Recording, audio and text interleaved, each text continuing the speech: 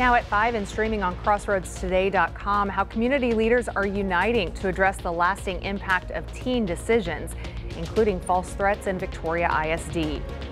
Plus, a key inflation report out today, a look at what it shows and how the Fed might react. Plus, distracted driving is a growing concern as millions of Americans get ready to travel for the holiday season. Yes, it's the holiday season time and we're waiting for that cooler weather. Where is it? It's uh, out on the west coast, but for tonight, uh, we'll be looking at a north wind blowing in and that will begin the cooling trend. Tomorrow, not as warm. By next week, oh yes, we're looking for sweater weather. We'll talk about that coming up in just a moment. And how a man who had his high school football championship ring stolen decades ago gets it back. You're watching 25 News now at 5. Good afternoon and thanks for being with us. I'm Shawna Currie.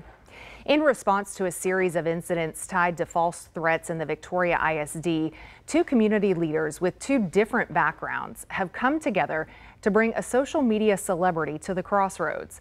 The goal is to remind students that their actions can have a lasting impact on their lives. 25 News Now Sunrise anchor Carolina Estrain spoke with them at the event's venue to learn more. Holy Gabbana is a social media celebrity who used to go by a different rap name before he turned to God and ultimately turned his lifestyle around. He used to do stunts on social media like jumping into a pile of Christmas presents displayed at a store or putting on brand new shoes and running out of the store with them. Well, he gained lots and lots of followers for that from doing that, but in that he lost him, himself. And I think he can really speak to students about not just the the here and now, but what those choices can do to you later. Jody Yancey Sandoval is the founder of Teens Grounded. She and Victoria County District Attorney Constance Filley Johnson teamed up to bring Holy Gabbana to Victoria. Their hope is that students engage with a celebrity speaker. And so this was an opportunity to have a positive event where we can include them in the conversation about how important their choices are. Johnson says while she and Sandoval have different political views, they're putting their differences aside for the common good. Carolina Estrain, KAVU TV 25 News Now. Here's what you need to know about the event. It starts at 2 p.m. on Sunday and goes until 6 p.m at the Emerging Technology Complex. You can expect door prizes, breakout sessions, and dinner, and you can learn more about signing up at crossroadstoday.com. This is a free event for students 7th through 12th grade. A Victoria man is facing two charges of online solicitation of a minor, one with sexual conduct. The Department of Public Safety arrested 39 year old Patrick Giles on those two charges. He is now being held in the Victoria County Jail with bond set at $100,000 total. Distracted driving is a major concern in the U.S. as millions are getting ready to hit the road for the upcoming holiday season. According to a new survey from the Pew Research Center, many Americans say the roads in their communities are less safe since the end of the COVID-19 pandemic. Nearly 80% were most concerned about people using their cell phones while driving. Tailgating, running red lights, speeding, and weaving through traffic are also worries. And with the busiest travel season of the year just weeks away, that brings us to our viewer poll. Are you concerned about the potential delays and cancellations with airlines this year? Yes, I expect significant travel disruptions. No, I think airlines are better prepared this year, or I'm not planning to travel. We want to hear from you. Come to crossroadstoday.com slash vote to participate, um, or you can simply scan the QR code there at the top of your screen. And right now, 74% uh, of voters say that they do not plan to travel uh, out of town this holiday season. So continue to vote, and we'll have the latest on 25 News Now at 6. Well, let's take a look at what's going on in weather. First Warn Storm Team Chief Meteorologist Matt Perez is here with a first look outside. And Mac, another very warm sunny day, but Yes. You said that changes are coming, right? I am hopeful that those changes will be on their way, but it's going to take a couple days before it gets here. But in the meantime, we've got to now track another tropical system. This is tropical wave number 13, and you can 19 rather. And as you can see, it is getting going. It is going to roll up through the Yucatan and get into the Gulf of Mexico. Where it goes after that, we'll be talking about that coming up in just a few minutes, and we'll take a look at your seven-day forecast. All that in just a moment. Back to you, Shawna. All right, feels like we're still in the middle of summer. Thanks, Mac. Well, a key inflation report out today showing inflation is up 0.2% from last month and up 2.6% since last year. The Fed is expected to stay course with another interest rate cut next month. ABC's Reena Roy has the latest. Inflation is up, according to a new report out from the Labor Department today. The Consumer Price Index showing inflation ticked up 0.2% from last month and up 2.6% since last October, in line with economists' expectations. I think we would have liked to have seen more progress when it comes to inflation. The overall uh, look is that trend, the trend of lower inflation continues, but it has been a very slow go. The Biden administration weighing in on this inflation report, arguing that it shows inflation is close to its pre-pandemic rate. This chart sort of shows you how far we've come with regards to inflation. As you can see, it's sort of stabilizing the past couple of months. While overall inflation has come down dramatically from a peak of 9% in 2022, some price increases are still outpacing inflation. Rent prices up nearly 5% in the past year, car insurance is up 14%. Overall, Americans paying about $171 more per month for the same goods, but wages have also increased. Incomes for the typical household have risen $248 a month over the past year. Americans' credit card balances hitting a new record high of over 1 trillion in the third quarter of the year, according to a report from the Federal Reserve Bank of New York. The Fed wants to see inflation around 2%, and we are close to that target. The Fed is expected to stay course with another interest rate cut next month. In welcome news for day-to-day -day expenses, gas prices are down about 30 cents since last year, and we could see the national average dip below $3 a gallon in the next couple of months. Reena Roy, ABC News, New York. Lawmakers in the Texas House and Senate filed more than 1,000 pieces of legislation Tuesday, offering an early look at the issues they hope to prioritize when they gavel in for the 89th legislative session in January. One of those includes property tax relief. To read the full Texas Tribune article, come to our website, crossroadstoday.com. Well, it's been more than 20 years since a North Texas man celebrated his high school football team winning the state championship. Blake Poole says he always cherished the championship ring that he received. But decades ago, someone stole his prized possession during a home invasion. And now, thanks to a stranger's discovery on social media, Poole's story has taken a surprise turn. Nicole Nielsen has the story.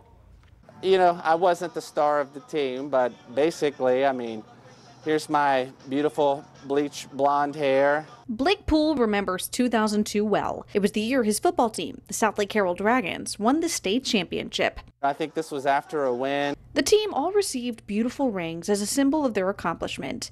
But the next year, a home invasion in 2003 meant it was stolen alongside other family heirlooms. It was just one of those times where it's like, man, you know, it, it was special. You know, took a lot of work to get it for you know the team, and it was. It's been 20 years at this point, but at the time, I mean, it was it was a pretty big deal. As the years passed, he almost forgot about the ring. But on Monday, a Facebook post caught his wife's eye. I knew that people would see it and, and knew that it was a prized possession, and and that they would try and help find who owned it. Dusty Steele came across a Facebook Marketplace listing over the weekend selling the ring for just $50. My first thought uh, when I saw it was this has got to be lost or stolen. He decided to purchase it with the intent to find Poole, the only clue being a last name on the ring. And within 30 minutes on social media, he'd been found. The pair met up within a matter of hours to finally place the ring back on the right hand. You could tell that it meant a lot to him. Today, Mr. Poole spent the morning reminiscing on the good times, excited to share photos and his ring with his own son. It's, it's refreshing that people still care enough these days to, to help somebody out. A case of strangers helping strangers, proving that patience sometimes does pay off and that simple acts of kindness aren't so rare after all. Well, that year, the Dragon team was predicted to finish fourth in the district, but they ended up 10 0 and eventually went on to beat a team from San Antonio to win the state championship. Well, here are some of the top headlines that you can read this week in the Cuero Record. Republicans dominate in the DeWitt County general election, and flags were placed on veterans' graves at Westhoff Cemetery. You can read these stories and more at dewittcountytoday.com. And remember to subscribe to our YouTube channel, Crossroads Today. You do that by clicking the like button and hitting the notification bell so you'll receive alerts. Stay with us. Straight ahead on 25 News Now at 5, Republicans are on track to hold the House, giving President-elect Trump a powerful path to push his agenda. Now the big question is just how much power they'll really have next year. Plus, Trump and Biden meet at the White House as Trump continues announcing key cabinet staff positions.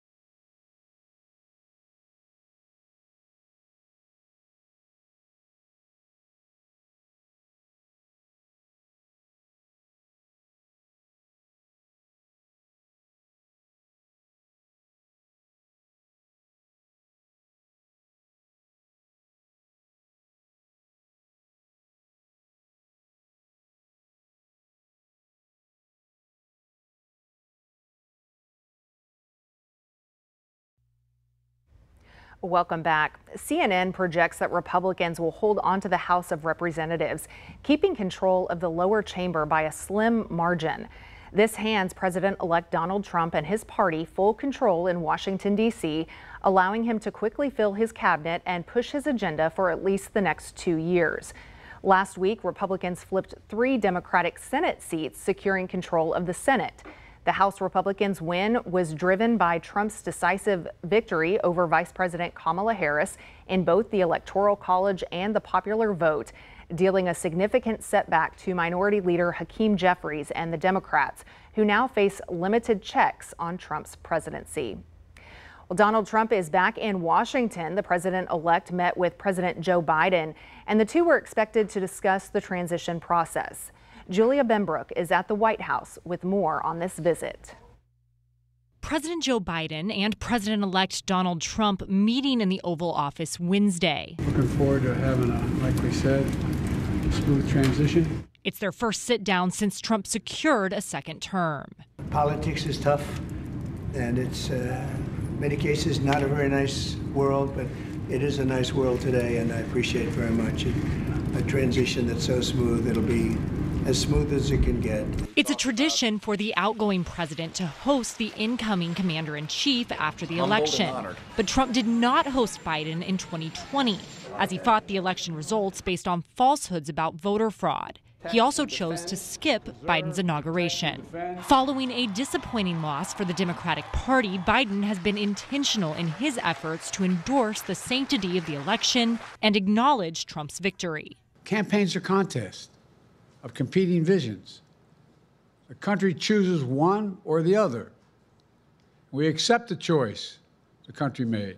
This meeting comes as Biden works to secure his legacy and Trump prepares to take office, tapping loyalists for key positions that offer a glimpse into how certain policies may be implemented. According to people familiar with Trump's plans, South Dakota Governor Kristi Noem will be asked to lead the Department of Homeland Security, and sources say Florida Senator Marco Rubio is his top choice for Secretary of State.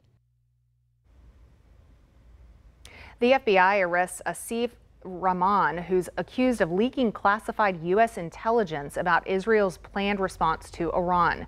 Rahman, who had top security clearance, reportedly posted sensitive documents on Telegram in mid-October. These documents were marked for U.S. and allied eyes only. Indicted last week, he now faces charges of willfully retaining and sharing national defense information. He was arrested in Cambodia and is being brought to Virginia for trial. Protesters gather in Paris in response to a gala being held there called Israel is Forever. The far right association behind the gala previously posted anti Palestinian content on Facebook. Several groups, including hard left party France Unbowed, are expected to take part in the protest. This is ahead of the French national team's football match against Israel on Thursday, which police have described as a high risk event. Back at home, here are some of the top headlines that you can read in the Port Lavaca Wave this week. The Extension Service gives healthy Thanksgiving food tips, and a local church is gearing up for Operation Christmas Child. You can read these stories and more at portlavacawave.com. Another sunny day for us and temperatures into the 80s, but that's going to be changing in a couple of days, not through this weekend, but uh, we're, next week is going to be very, very interesting. 85 right about now. Our uh, maximum temperature came in, well, it's not in just yet, but it's probably about 87, I believe. And our temperature should be around 75. 93 is our record high for the date. But there's two fronts that we're looking at. One comes in tonight and the other one comes in late on the weekend. We'll be talking about that coming up after this.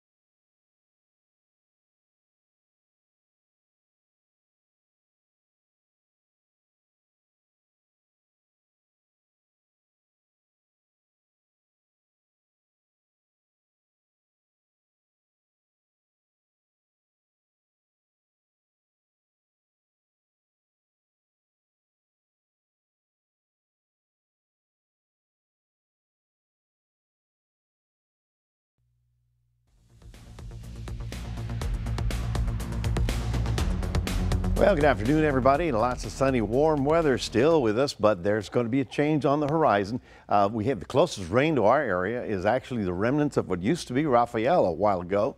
Uh, that's rolling through Mississippi and, um, and Florida as well. But for us, you see that little thin line of clouds right there? Let's do it one more time. You see, see right there, right there, right there, right there. That is actually the wind shift line associated with the front. In other words, all of a sudden, sometime later tonight, maybe already in some of your areas, you'll start feeling a north wind coming in, and that sort of begins the bit of a cool down uh, because we're going to be picking up north winds, and as a result, that little front will knock the temperature down just a little bit for the next couple of days. That's about 80, but the night times will be much more pleasant and cool and dry. That's when it gets very comfortable out there. Now, this is the big storm that's occurring right now through the Midwest, bringing rain all the way down into the southeast. But there's the big one. That is a very large Pacific storm uh, that's got a lot of cold air behind it right there. That one's going to roll into the Rockies and be the first big weather maker for them. Lots of snow expected out of this system, and then it crosses into the plains and digs down far enough to actually have an effect on us. I'll have more on that in a moment. Because of the north wind coming in overnight, we're only going to be 80 degrees tomorrow. Not bad at all. Look at that, 77 in Houston and in the low 70s throughout most of the state. There you see the winds uh, coming out of the northwest. That's why we're looking for that cool, dry air to come in. The cool air is good. It's that dry air that's going to be very arid. So that's why we, we're very cautious with anything that looks like a flame outdoors as we continue with that um, burn ban. But as we get through Saturday, you can see how the winds sort of turn around, bring us back a little bit moisture. But what is that? Well, that's that new system, tropical system, that's likely to become Sara, S-A-R-A, uh, the tropical storm. We'll track that in a moment. Here's what Sara is going to do. Right now, it's a tropical cyclone 19 potential wave, and you can see it's up to about 25 miles an hour, but it is now forecast to strengthen, and I believe that maybe in the next day or so, it'll become a named storm, and it'll be rolling through Nicaragua and portions of Central America.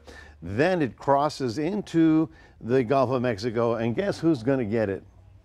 Florida again. Uh, very similar to what happened with Rafael. It'll come into the Gulf and then it'll just get sliced in half by the uh, winds associated with that tropical storm.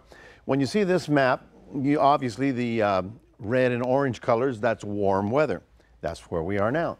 When you see the blue, that's cool weather or cold weather or winter, if you want to call it. And notice that by the time we get to Saturday, we get a deep low cut off here in the southwest. Always look for that one because that one will pull warm, moist air out of the Pacific out ahead of it.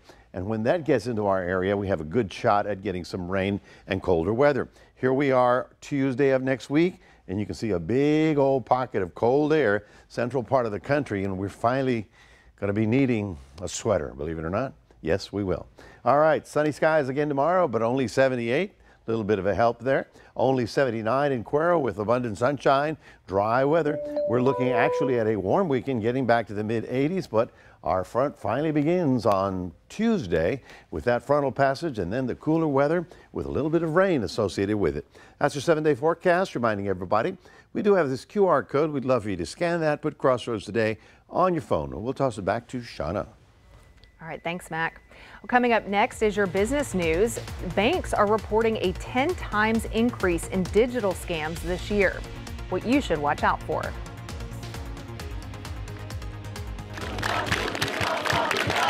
Nous sommes tous des enfants du Gaza.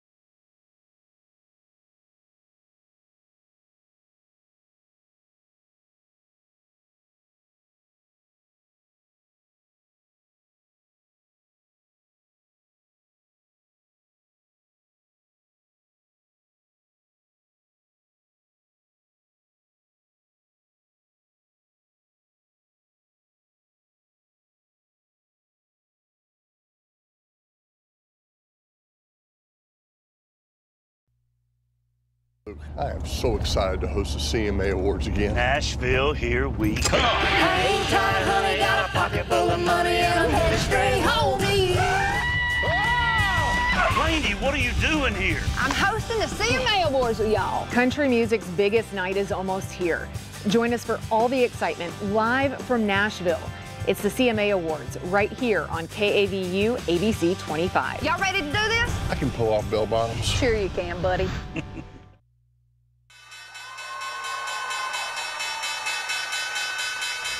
Here's a look at today's closing numbers for the stocks. The S&P 500 is up 1 point, the Dow is up 47 points, and the Nasdaq is down 51 points. Oil is down 14 cents to $67.97 a barrel. Criminals are finding new ways to part you from your money. U.S. and Canadian banks reported a 10 times increase in digital scams this year. Cybersecurity firm BioCatch found that criminals are increasingly using persuasive tactics to trick people into giving them money through online systems. So-called social engineering scams, where criminals use persuasive tactics to get victims to send them money, began popping up about five years ago. But BioCatch says there's been a big uptick in the last 18 months. Costco is recalling 80,000 pounds of butter. According to the U.S. Food and Drug Administration, the butter is being pulled because the packaging lacks a contains milk statement. The recall includes Kirkland Signature unsalted sweet cream butter and Kirkland Signature salted sweet cream butter. The products were distributed throughout Texas. It's unclear if any allergic reactions have been reported. You can either return the butter to the store or throw it out. An iconic Texas landmark may soon come back to life. After years of sitting empty, the Houston Astrodome might reopen thanks to a new plan revealed by a nonprofit conservancy group today. This plan, unlike past attempts, includes revenue generating spaces like a hotel, offices, an arena, and an entertainment venue, along with food and beverage areas, all for a hefty $1 billion price tag. Astrodome Conservancy officials call it a future global destination, with 86% of surveyed Texans wanting to preserve the dome. So far, the group has raised over $3 million in private funds. Up next is presenting the plan to the county and commissioners. Well, stay with us when we come back. We'll take a look at who is gracing the cover of People magazine as the sexiest man alive. Don't go away. Coming up tonight, the fire burning in New York City right now. Also breaking President elect Donald Trump choosing Matt Gaetz for Attorney General, sending shockwaves. And thieves hitting the homes of Patrick Mahomes and Travis Kelce. Mahomes breaking his silence just moments ago. We're next.